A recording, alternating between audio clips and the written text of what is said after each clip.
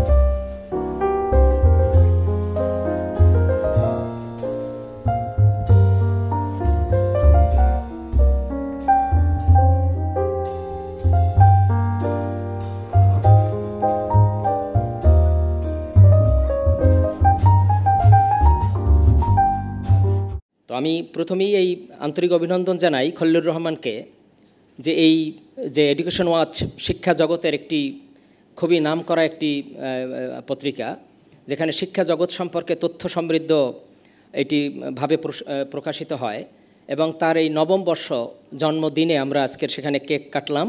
তো সেটি শিক্ষার জগতেও এবং একটি প্রতিপাদ্য বিষয় আছে আজকের এই জন্মদিনের। সেটি এখানে বলা হয়েছে শিক্ষার গুণগত মান এবং বিশ্বমানের শিক্ষা। অর্থনীতির উন্নত অর্থনীতির একটি বড় বৈশিষ্ট্য হলো গুণগত মানসম্পন্ন শিক্ষা। এটি একটি বৈশিষ্ট্য। শিক্ষার্থীরা পড়ে। আমাদের দেশের যারা স্কুলে পড়ে, নবম, দশম শ্রেণীতে পড়ে, তারা এটি পড়ে যে ভালো অর্থনীতির একটি বৈশিষ্ট্য হলো যে ওই দেশে গুণগত মানসম্পন্ন শিক্ষা থাকে। তো ফলে শিক্ষা এবং অর্থনৈতিক উন্নয়ন এই দুটো খুবই ওতপ্রোতভাবে জড়িত এবং বলা হয় যে এটি একটি বড় ইন্ডেক্স যে উন্নত বিশ্বের একটি বড় ইন্ডেক্স হলো তার গুণগত মান, শিক্ষার গুণগত মান সেটি কতটুকু তারা অর্জন করতে পেরেছে। তো সেই নিরীক্ষে আমাদের দেশেও এটি নিয়ে হয়তো একটি বড় বিতর্ক হবে, কেননা আমরা কোন পর্যন্ত এখন পৌঁছি, কিন্তু খুব আশার বিষয় হলো যে অনেকগুলো মাইল ফলক কিন্তু আমরা তৈরি করতে সক্ষম হয়েছি আন্তর্জাতিক পরিমণ্ডলে শিক্ষা নিয়ে। শিক্ষার ক্ষেত্রে অনেকগুলো মাইল ফলক ইতিমধ্যেই সূচিত হয়েছে, সেটি হলো সম্ভবত বিশ্বে এটি একটি রেকর্ড যে বাংলাদেশই একমাত্র দেশ যে দেশে এই এত সরকারি ব্যবস্থাপনায় এত উল্লেখযোগ্য সংখ্যক পাঠ্যপুস্তক বিনামূল্যে বিতরণ করা হয়। সম্ভবত বিশ্বে এমন একটি দেশ, যে দেশের প্রথম পহেলা জানুয়ারি, সেটি একটি উৎসব, পাঠ্যপুস্তক বিতরণের উৎসব হিসাবে এই দিবসটি উদযাপিত হয়। এবং সম্ভবত এটিও একটি রেকর্ড, যেখানে এই শিক্ষার্থীরা, বিপুল সংখ্যক শিক্ষার্থীরা প্রতি বছর বিভিন্নভাবে তারা স্কলারশিপ বা বৃত্তি লাভ করে থাকে। আপনারা হয়তো জানেন, বর্তমান সরকারি একটি প্রকল্প আছে, যেটির নাম হলো প্রধানমন্ত্রী শিক্ষা সহায়তা ট্রাস্ট। এখান থেকে লক্ষ লক্ষ শিক্ষার্থী বৃত্তি লাভ করে থাকে। এটি প্রচারণা নাই, কিন্তু আমি মনে করি আমি সবসময় সেটি বলি। এই এখানে ট্রাস্টি বোর্ডের সাথে আমার সম্পৃক্ত হওয়ার সুযোগ হয়েছে।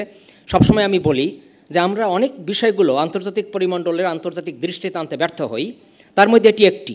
এত বড় বিপুল আয়োজন সরকারি ব্যবস্থাপনায় যেখানে প্রধানমন্ত্রী শিক্ষা সহায়তা ট্রাস্ট নামে এরকম থাকে, যেখানে দশ হাজার কোটি টাকা সিড মানি যেখান থেকে যে লভ্যাংশ অর্জিত হয়, সেটি শিক্ষার্থীদের মধ্যে বন্টন করা হয়, এটি, এগুলো কিন্তু বিশ্বের রেকর্ড।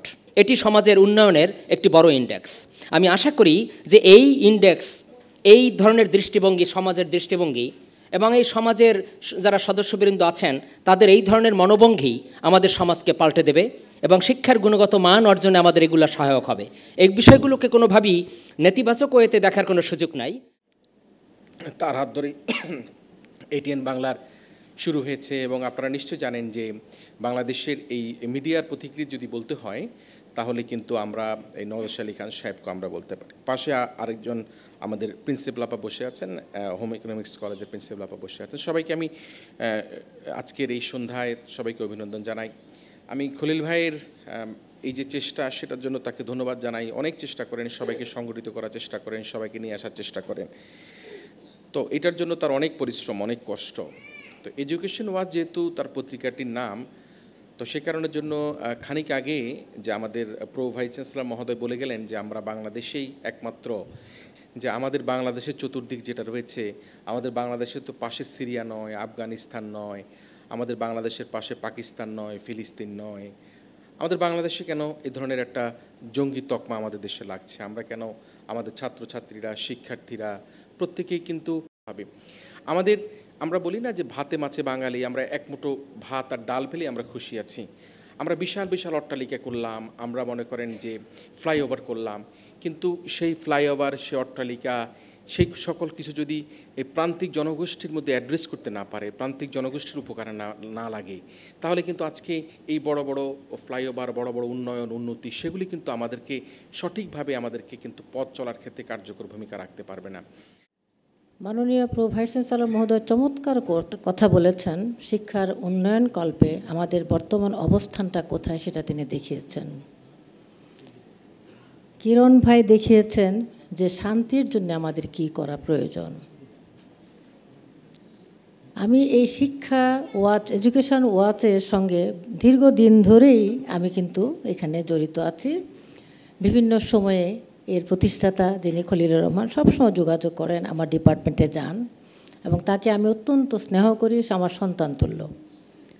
তো আজকে যখন এসে বলেছে যে আমার অনুষ্ঠানে আসতে হবে, কিছুদিন আগে আমি মত দিয়েছি, জানি যে বহুদিন পরে আবার ডেকেছে তাই আসছি। স্যার যেটা বলেছেন, কিরণ সাহেব যেটা বলেছেন যে এত ভালো ফলাফল কিন্তু ইউনিভার্সিটিতে ভর্তি হতে পারে না অনেকেই। আবার একটা সময় ছিল যে বাচ্চারা কোন ধরনের পড়াশোনা করলে পরে জঙ্গিবাদ হবে? কিন্তু আজকাল জঙ্গিবাদ হচ্ছে কারা? জঙ্গিবাদে জড়িত হচ্ছে কারা? কোন লেভেল থেকে আসছে? সেটাও কিন্তু একটা প্রশ্নের জন্ম দিচ্ছে। সরকার আমরা মায়েরা কি করি? আজকাল অধিকাংশ মা চাকরি করছে, বাবা চাকরি করছে, দুজনেই হুটহাট বেরিয়ে যাচ্ছে, বাচ্চা স্কুলে যাচ্ছে, স্কুল থেকে এসছে, এসে কাজের বুয়ার কাছে থাকছে। এই যে একটা মাঝখানে কিন্তু গ্যাপ যে সময়টা একটা বাচ্চার বাবা মাকে বেশি প্রয়োজন, সেই সময়টা কতটুকুন আমরা দিতে পারি বা দেই? যদি এই জায়গাগুলো যদি আমরা হিলিং করতে পারি, ভরাট করতে পারি, আমার মনে হয় না আমাদের বাচ্চারা ডিরেইল হবে বা লাইনচ্যুত হবে বা খারাপ হবে। একটু সময়, বাচ্চারা এক একটা স্টেজে তাদের মনের চাহিদা এক এক ধরনের। সেটা যদি আমরা মায়েরা ফিল করি, তার মনের কথাগুলো, স্কুলে যে ঘটনা ঘটেছে, সে বাসায় এসে চিন্তা করছে, মাকে বলবে। কিন্তু বাড়িতে ঢুকে যখন বাবা মার পরিস্থিতি দেখে, সে আর কথা বলার সুযোগই পাচ্ছে না। এই যে তার ভেতরে একটা অতৃপ্তি জন্ম নিচ্ছে, অশান্তির জন্ম হচ্ছে, বাবা মাকে অশান্তি, বাবা মার মধ্যে অশান্তি পরিবেশ দেখছে, অশান্ত পরিবেশ দেখছে, এ থেকে আমাদের বাচ্চারা কি শিখছে? অর্থাৎ সমাজের প্রেক্ষাপটে আমাদের দেশ উন্নতর দিকে উন্নত হচ্ছে, এগিয়ে যাচ্ছে দেশ, কিন্তু আমাদের মন মানসিকতা, দৃষ্টিভঙ্গিতে কিন্তু পরিবর্তন আনতে হবে। আমরা এমন কোনো কান্ট্রি হয়ে যাই নাই যে আমাদের হাই ফাই চিন্তা করতে হবে, যে আমরা সাধারণ চিন্তা থেকে অনেক দূরে সরে গেছে, আমরা কিন্তু এই লেভেলে নই। আজকের যে আলোচনার বিষয়টি, গুণ শিক্ষার গুণগত মান এবং বিশ্বমানের শিক্ষা, এটি কিন্তু আসলে এই বিষয়ের উপরে কোনো একটু জাস্টিফাই করা মানে খুব গুণগত মানের একটি প্রবন্ধ উপস্থাপন করা কঠিন ব্যাপার। বিকজ কারণ হচ্ছে বিষয়টা এতই ব্যাপক এবং গুরুত্বপূর্ণ, শিক্ষা বলতে আমরা কিন্তু প্রাথমিক, মাধ্যমিক, উচ্চশিক্ষা সব স্তরের শিক্ষার কথাই বলব। যেহেতু কোনো নির্দিষ্ট করা হয়নি, কাজে সব পর্যায়ের শিক্ষা এবং শিক্ষা ব্যবস্থা সবই গুরুত্বপূর্ণ। গুণগত মানের দিক থেকে মান অর্জনের জন্য এটি গুরুত্বপূর্ণ বিষয়। যেহেতু আমি উচ্চশিক্ষার সাথে সম্পৃক্ত, বিশ্ববিদ্যালয়ের শিক্ষকতার সাথে জড়িত, ছিলাম সারা জীবন, এখনও আছি, আমি উচ্চশিক্ষার দিকেই মনোযোগটা দেব এবং সেখানেই আমার আলোচনা সীমাবদ্ধ রাখব। গুণগত মাল বল- বলতে আমরা কি বুঝি? আমাদের দেশে বর্তমানে এই বত্রিশ লক্ষ শিক্ষার্থী উচ্চশিক্ষার প্রতিষ্ঠানগুলোতে শিক্ষা লাভ করছে। দেশে আট আটত্রিশ কি উনচল্লিশটি সরকারি এবং ছিয়ানব্বইটি বেসরকারি বিশ্ববিদ্যালয় আছে। সেসব সেসব প্রতিষ্ঠানে শিক্ষার গুণগত মান কী পর্যায়ের তা নিয়ে বিস্তর আলাপ আলোচনা ও সমীক্ষা চলছে। একদল বলছেন শিক্ষার মান নিম্নমুখী, আরেক দল বলছেন সেটি, আরেক দল কিন্তু সেটি মানতে রাজি নয়। কারণ তারা বলছেন, আমরা অনেক দূর এগিয়েছি, আমাদের শিক্ষার মান নেমে গেছে, তা মানতে রাজি নই। বস্তুত, আমরা যদি উচ্চশিক্ষার প্রেক্ষাপট ও সার্বিক চিত্রের দিকে তাকাই, তবে আমরা বলব, কোনো কোনো ক্ষেত্রে শিক্ষার মান যথেষ্ট উন্নত। কোনো কোনো ক্ষেত্রে ততটা উন্নত মানের নয়, কোনো কোনো ক্ষেত্রে ততটা আশানুরূপ উন্নত মানের নয়। এখন এইসব বিষয়ে সুনির্দিষ্ট বক্তব্য রাখতে হলে প্রথমে আমাদের স্পষ্ট করতে হবে, শিক্ষার গুণগত মান বলতে আমরা কি বুঝি? এটিকে সংজ্ঞায়িত করা কিন্তু খুব সহজ নয়। আমরা গুণগত মানকে যদি এভাবে দেখতে পারি যে একটি সুনির্দিষ্ট কার্যপদ্ধতির মাধ্যমে উপযুক্ত ব্যবস্থাপনা ও সুযোগ সুবিধা সম্বলিত আধুনিক মননশীল কারিকুলাম অনুসরণ করে যেসব শিক্ষার্থী উচ্চশিক্ষার প্রতিষ্ঠানগুলোতে শিক্ষা লাভ করছেন, তারা মানসম্মত শিক্ষা লাভ করছেন। আরও সুস্পষ্ট করে বলতে গেলে বলতে হবে, শিক্ষা লাভ করে শিক্ষার্থীরা কর্মক্ষেত্রে সফল হয় যেসব শিক্ষার্থীরা সফল হয়, সমাজে উল্লেখযোগ্য অবদান রাখতে পারে, তাদের শিক্ষাকেই মানসম্মত শিক্ষা বলে অভিহিত করা যাবে। মানসম্মত শিক্ষার একটা আন্তর্জাতিক মাত্রা আছে, পদ্ধতি আছে, ব্যবস্থাপনা আছে। আমরা সেদিকে কতটা যাচ্ছি সেটি গুরুত্বপূর্ণ। দৃষ্টিভঙ্গি। কাজ করার মানসিকতাকে যদি পজিটিভ অ্যাটিটিউড না হয়, আমার সব কিছু আছে, আমার জ্ঞান আছে, আমার স্কিল আছে, কিন্তু আমি কাজটা করব না। আমার অ্যাটিটিউড নাই, আমার মনোবৃত্তি নাই, মানসিকতা নাই, তাহলে আমার এই জ্ঞান অর্থহীন। আমি মানসম্মত শিক্ষায় শিক্ষিত হলাম না। কাজে তিনটার সমন্বয় ঘটাতে হবে। বিদেশিরা আমাদের গার্মেন্ট সেক্টর এবং বিভিন্ন জায়গায় কাজ করছে। কেন কাজ করছে? কেন তাদেরকে এমপ্লয় করা হচ্ছে? কারণ সেই মানসম্মত, যেই মানটা আমাদের দরকার, সেই মানসম্মত শিক্ষায় শিক্ষিত, উচ্চশিক্ষিত লোক আমরা তৈরি করতে পারিনি। এটি আমাদের ঘাটতি। এখানে আমাদের ব্যর্থতা। আমাদের সেই বিষয়গুলোকে দেখতে হবে। ফিলিপিন্সের তার দশ ভাগের এক ভাগ শ্রমিক গিয়ে সেই পরিমাণ আর্ন করে। ফিলিপিন কারণ সেখানে তাদেরকে, তাদের শ্রমিকদেরকে স্কিল্ড লেবার হিসাবে তৈরি করে বিদেশে পাঠায় এবং তারা টেন টাইমস মোর আর্ন করে। কাজে আমাদের এই বিষয়গুলোর ক্ষে- সে- ক্ষেত্রে দিকে নজর দিতে হবে যে আমরা উচ্চশিক্ষা ভোকেশনাল ট্রেনিং বা যে সমস্ত ট্রেনিং দেই, সেগুলো যেন মানসম্মত হয় এবং সেগুলো যেন আমাদের সার্বিকভাবে আমাদের দেশের সমাজের কাজে লাগে।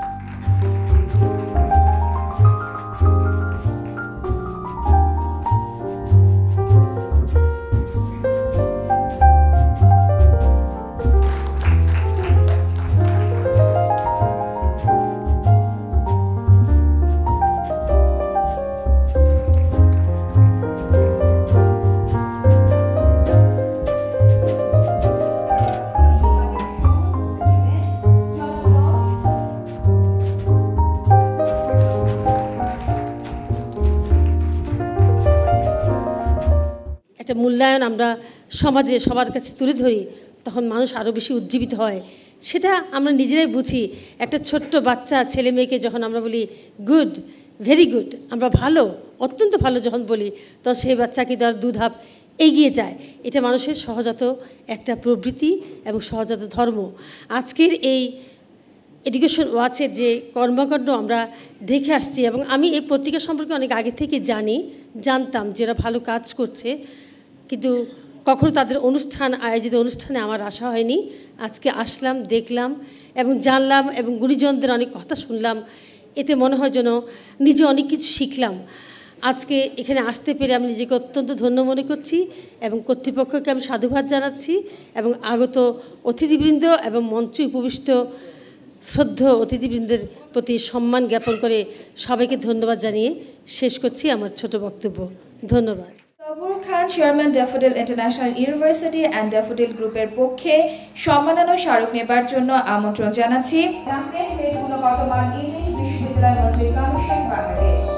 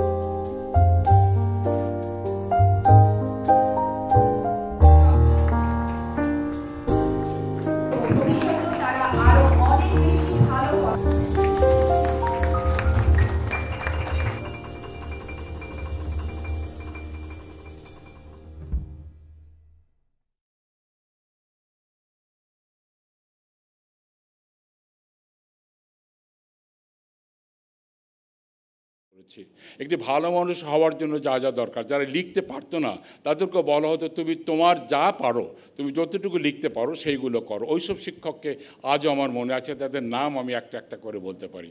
সেই শিক্ষার থেকে শুরু করে যে পরিবর্তনটা শুরু হলো, সেই পরিবর্তনটা হয়েছে নদীর মতো। যেমন নদী চলমান, নানা চড়াই উতরাই হয়ে হয়ে সমুদ্রে গিয়ে বিলীন হয়, একটা বিশাল অর্থে পরিণত হয়।